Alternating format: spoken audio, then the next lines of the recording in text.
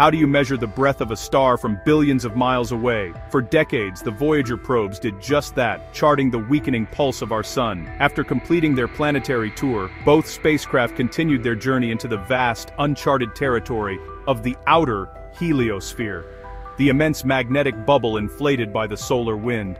This solar wind is a constant stream of charged particles, mostly protons and electrons, flowing outward from the sun at over a million miles per hour.